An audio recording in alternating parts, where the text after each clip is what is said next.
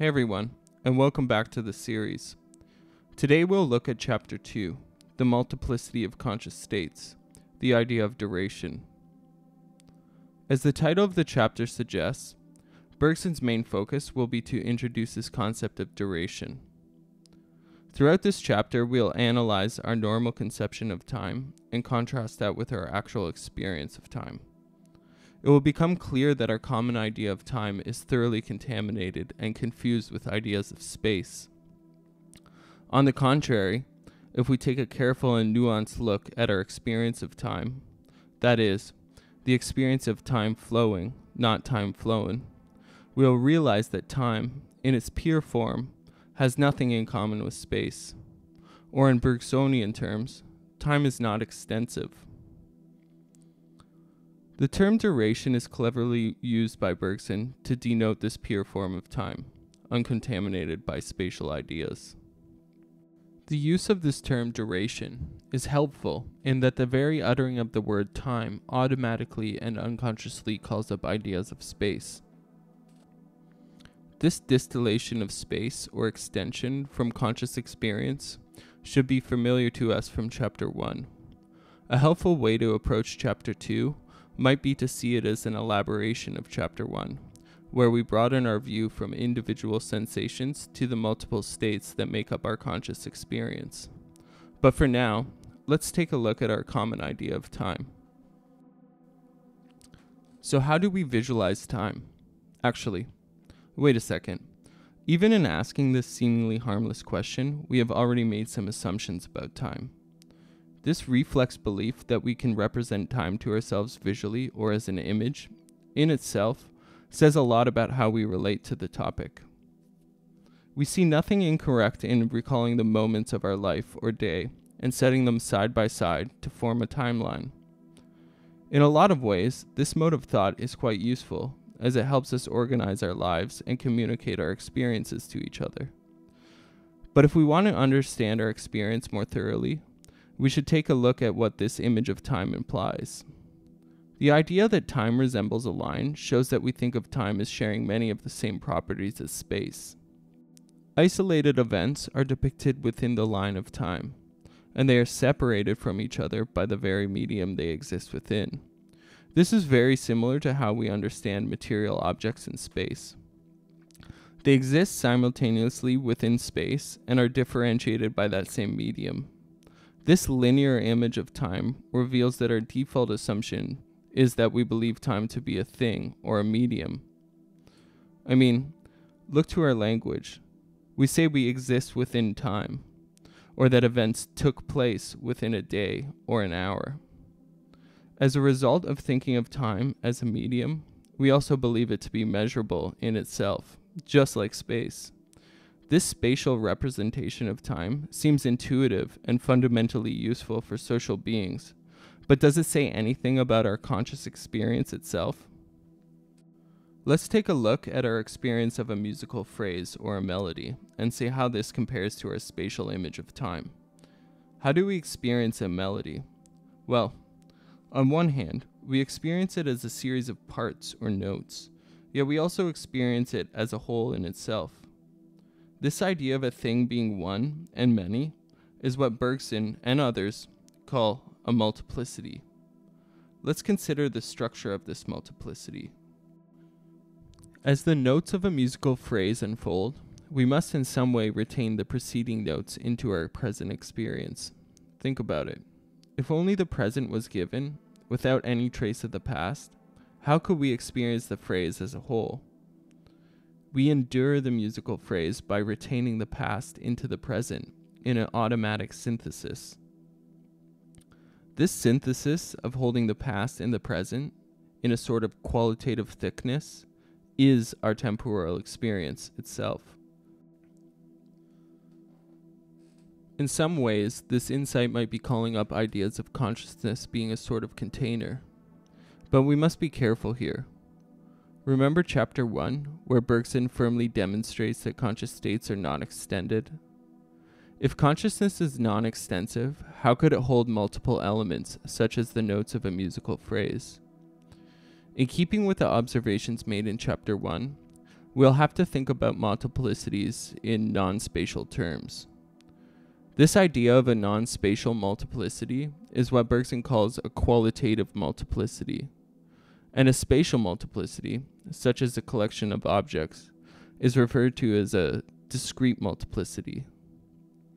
Let's further our understanding of qualitative multiplicity with an analysis of our musical experience. As we experience a melody unfolding, we do in some way hold the previous notes in our present experience. But do these elements stay distinct from each other in the same way that a group of objects do in space? Imagine a bag of pebbles. Any given rock in this collection remains physically the same within or without the container. Do notes of a musical phrase act this way? Is the experience of a note the same within a melody as it is played in isolation? Say we're listening to a pianist play a song in a specific key. As she executes the opening phrase with precision and grace, she accidentally hits a note outside of the key she is playing within. We automatically feel this error without even reflecting. Now imagine hearing the same note played in isolation. The feeling tone of this note as an error within a phrase is radically different from the experience of the same note played in isolation. So, unlike our collection of pebbles, we can see that the notes that make up the multiplicity of our musical experience are different within the multiplicity than they are outside of it. What does this mean? This observation shows that the notes of a musical phrase are not like discrete and impenetrable objects in space, but that they must interpenetrate each other. They contain the preceding and expected notes within themselves. They contract into a fused mass and melt into the non spatial richness of our temporal experience. We endure the musical phrase.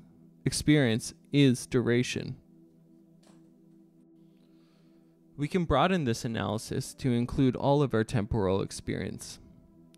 Just as the notes of a melody interpenetrate and melt into one another, so do the moments of our life. Does last week's altercation at work live within you in this present moment? Even before reflection, isn't it the case that what you did yesterday or that amazing vacation you had last winter somehow penetrates and mixes within your immediate present? What about the events of today before you sat down to watch this video? These surely seep into your current experience. If we pay close attention, we can catch a glimpse of the interpenetrating fluidity of our experience, and we can begin to see that this state of ever becoming bears little to no resemblance to our linear representation of time. When we isolate events along the spatial image of a timeline, we're forced to see them as separate from each other. But remember what happened when we extracted a note from the fluid whole of the melody? It did not remain the same. The very act of isolating it altered its qualitative flavor or feel drastically. The problem here is that we do the same thing with the experience of life, and we do so without realizing it. We extract the experiences of our lives so we can order them in a representation of space, but in doing so, we alter them. Unconsciously, we then substitute this superficial and lifeless representation for the living experience of duration itself. And notice that there is a directionality to this. The moment we look back or reflect on our experience, we have separated the past from the present. This act of separation treats the past as if it were a place over there. I mean, look at how we talk about it. We say things like, look back to the past. We talk as if the past were a place in space. This tendency of thought renders the past lifelessly static, an object outside of the present. But if we refrain from this looking back and externalizing our experience, if we live in the moment, that is, truly live, the past lives within us in the thickness of the present. Sorry for repeating myself so much, but I think this is the most important point to understand before we move on to chapter 3. We must constantly remind ourselves that the qualitative realm of experience has nothing to do with the quantifiable realm of extension. But why are we so prone to spatializing our experience? It's because we're constantly exposed to the quantitative realm of space. We so strongly associate an experience itself with its cause that we reduce the experience to the cause.